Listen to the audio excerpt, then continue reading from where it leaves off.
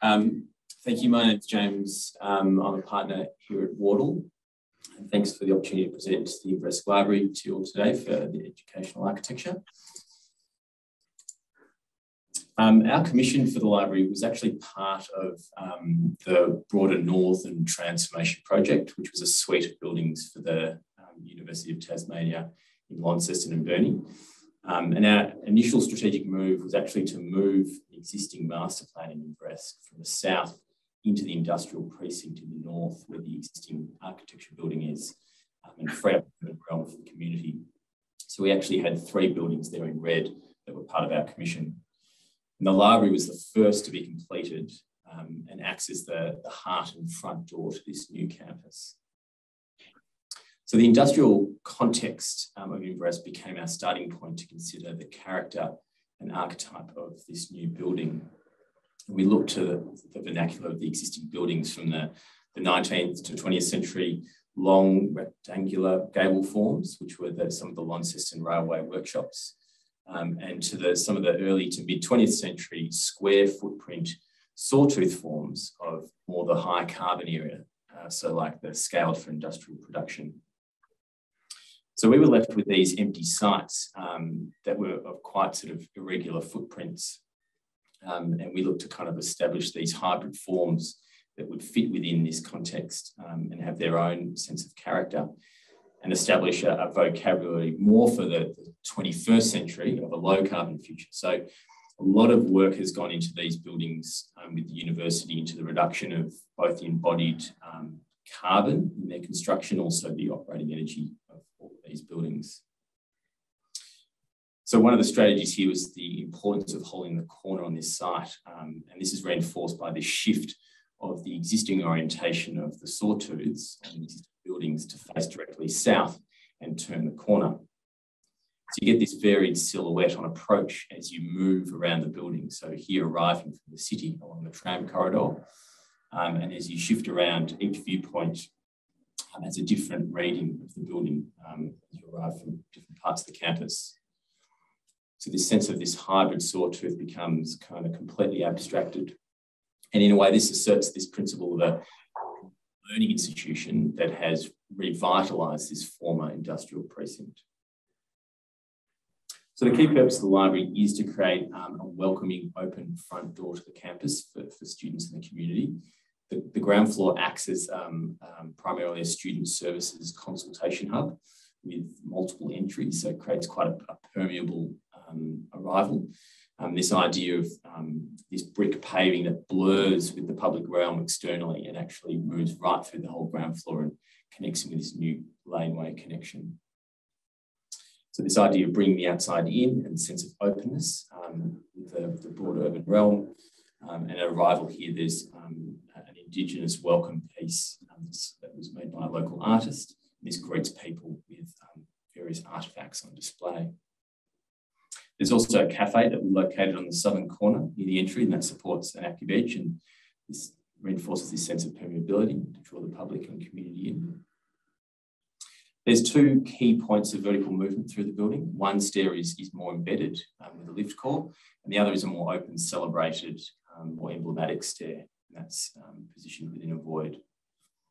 So as you move up through the building, um, the type of activity shifts from the more active um, busy ground plan to a more quiet study collaborative mode on this middle floor. Um, and one of the more important spaces here is um, uh, the Riawunna collection, which is a special place within the building. And this provides a cultural space for community for collaboration and communication. And at the top level, um, this gradient activity shifts to more of a typical library. So this is where many of the bookshelves and quiet study spaces are located. Um, and this, this, this whole space really is defined by the characteristic um, uh, entire timber construction for this upper level of columns and sawtooth roofs face south. So the timber structure and shape of these sawtooths do reinforce its industrial character within its um, uh, within the kind of Inveresk precinct, um, but does so you know, in a quite a warm and welcoming palette of materials um, for a library building. Um, quite complex. They're meticulous detailing um, of all these unusual junctions given the, the, kind of hybrid nature of these sawtooths um, were beautifully carried out in such high quality by the local trades, which we were um, very impressed by. Um, so of course, these bring um, unshaded south-facing natural light right across the top level. Um, and that natural light is balanced with other carefully um, large windows that are located within the external walls. Um, and these provide key views out to the surrounding precinct. James, that was five minutes. That's it? Well, that was five minutes. You can keep going, but if you want to have a discussion. Um, it's clad in mill finished aluminium, which spans over um, some of the windows with a perforated gradient. Um, and you get this quite, quite sort of reflective finish that will die off over time. Um, and at night, you get that sense of the, the, kind of blurring across those windows, the perforation, um, and a real sense of openness to the ground plane. Thank you. Um, just in terms of uh, the way that um, the way that the the work is structuring a kind of quality of a campus, and I know that the university has restructured a lot of its te teaching methods. How, can you talk to that uh, a little bit, James, in terms of how the perhaps the plan resolves the new the new pedagogical engagement that's been that's being deployed? Yeah, so this is this is part given the, the two other buildings. The other one that's just about to finish is River's Edge, and that's literally about 50 metres to the north of this building. And that is more primarily teaching spaces with um, other Riawunna spaces as well, that they are more for teaching. This building more is, is a point of arrival for students to feel welcome as a front door to the campus, but it is also um, some of the more one-on-one um, student-teacher um, consultation. So it's, it's about creating uh, quite a diversity of settings that the university can actually recalibrate depending on the needs throughout the year. Um, so it, it, it is quite a, a, loose fit in a way, but also allows them to be quite specific. Um, but it, it is a building that is more general in terms of um, students come here to study, there's consultation, um, there's community workshops. Um, so it, it's, it's more the, the kind of general um, academic use rather than more specific teaching and learning, which is really the River's Edge building, which is just about to be completed. Okay. What's your on this image? Can you talk about the approach to the sort of that finer grain, the way you bleed in the building, the inside and out, in terms of that urban precinct? Yeah, so we were quite interested in, in ensuring there was a, a, kind of clear wayfinding device for arrival within the precinct, particularly given this was the front door. Um, so we did look for devices both within the ground plane um, through the use of this counterpoint of this um, red paint that we used on some of the key entries that would clearly denote where entries were to the building, but also then through the red brick that actually extended out into the, the, the greystone paving of the urban realm. And that would kind of markate this sense of drawing people in um, rather than creating a hard line between what was exterior and interior. It really was this building trying to really break down the sense of the institu- typical institution and make it feel more welcoming for even um, the public and tourists within um, who might be visiting the precinct.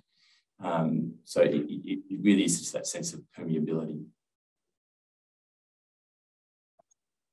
James, um, was just wondering about the hybrid structural system and what the sort of driver was for having three different structural systems within the building. Mm. Initially, as always, we intended this, for this to be a fully timber constructed building. Um, we were there were some constraints around um, the flood level. We did have to raise the building up 500 mil for a flood level. However, it was um, initially too great a concern that if it did flood, timber construction wasn't suitable for particularly the ground floor. That was slowly whittled to these top two levels. And then finally, due to, to cost um, and availability at the time, because we were looking initially to align this with um, a new factory being established in Tas for the construction. Um, we ended up having to get it from Vicbeam here in Victoria. So um, we held on to the top floor as we thought that was the most important space that would kind of define the character of the use of timber construction. So it is a concrete lower two floors with um, timber at the top. And of course, that just would always use these steel plate connections to create all these. Thank you very much, but I will have to stop you there. There you go. Just stop, James. Thank you.